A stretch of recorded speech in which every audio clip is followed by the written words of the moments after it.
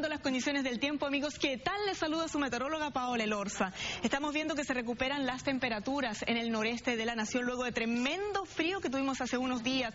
Temperaturas hasta de un dígito que se registraron en Chicago, San Luis y ahora ya con temperaturas 28, muy frías para mi gusto, 32 grados hasta ahora por allá la capital con 27 grados. Todavía el frío queda rezagado. La Gran Manzana tienen 19 grados a esta hora, pero gradualmente este frío también se va a ir yendo. Se recupera también en Atlanta y aquí en el sur de, eh, área del, de Luisiana, Nueva Orleans, con 33 grados.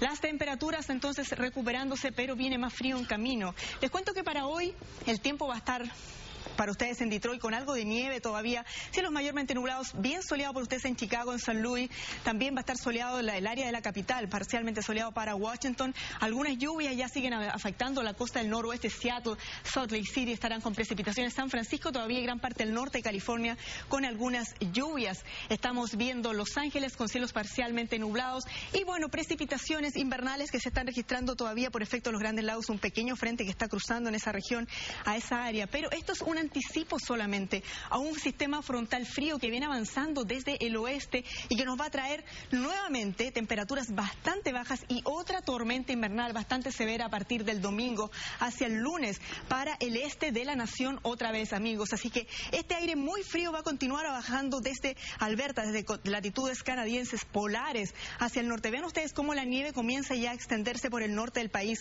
de aquí a las próximas 12 horas, llegando ya para esta noche a la zona de Minnesota las precipitaciones van a quedarse sobre el medio oeste y bastante viento también va a estar soplando, viento frío detrás de este sistema eh, frontal. Así es que las condiciones invernales se van a hacer sentir a partir del domingo, especialmente aquí en el norte nuevamente y el este de la nación.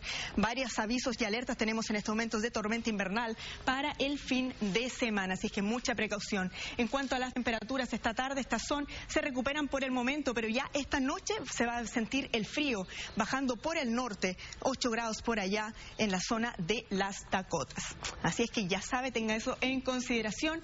Viene más frío, una tremenda tormenta invernal a partir del domingo. Y de los Estados Unidos nos vamos inmediatamente a México, allá está Poncho Lila, esperando para más información.